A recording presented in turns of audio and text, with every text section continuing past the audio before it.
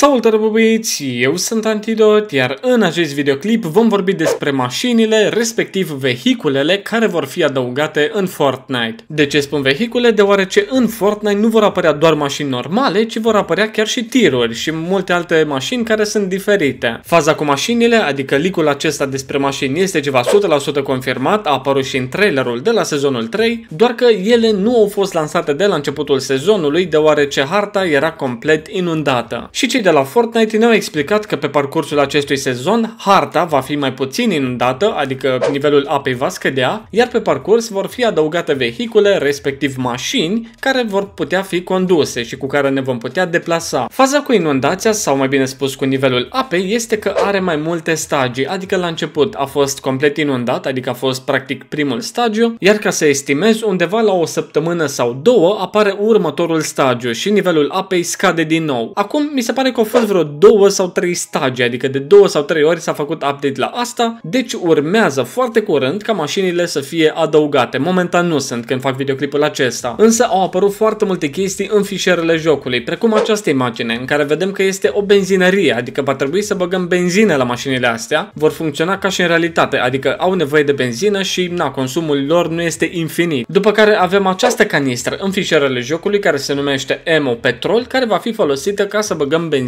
în aceste mașini și este un item pe care îl vom găsi în locuri random pe hartă. Dar în fișiere au apărut și aceste postere, adică sunt niște imagini sau postere care probabil vor apărea pe hartă. În prima vedem o mașină roșie, adică o mașină complet normală, după care vedem o mașină de curse cu roșu și cu albastru. În a treia vedem o mașină care are în spate loc unde pot sta și alții probabil, adică și alți jucători, iar în această imagine vedem că este un tir sau o cabină de tir, iar acestea sunt doar patru dintre vehiculele care vor apărea pe hartă. Nu se știe momentan câte sunt, dar vedeți că este vorba despre vehicule diferite, mașină de cursă, mașină normală, mașină care poate căra pasageri în spate, tir, adică sunt complet diferite. Iar în imaginea asta vedem care este capacitatea acestor vehicule. Vedem că cea mică are 100, cea medie tot 100, cea care este mai mare are 150, iar tirul se pare că are tot 100. După care vedem care este capacitatea minimă de benzină la spawn și vedem 40, 40, 50 și 80. Nu știu care cum sunt, adică care este cea mică, cea medie și cea mare, dar vedem că jos scrie track care este tirul. Deci tirul nu face parte din primele 3. Iar aici vedem care este viața maximă a mașinilor. Și vedem că vehiculele mici au 800, cele medii au 1000, iar cele foarte mari au 1200. Dar precum v-am spus și la începutul acestui videoclip, faza cu mașinile este confirmată și a apărut chiar și în trailerul de la sezonul 3. Adică putem vedea cum funcționează mașinile astea și nu e ca și cum vor funcționa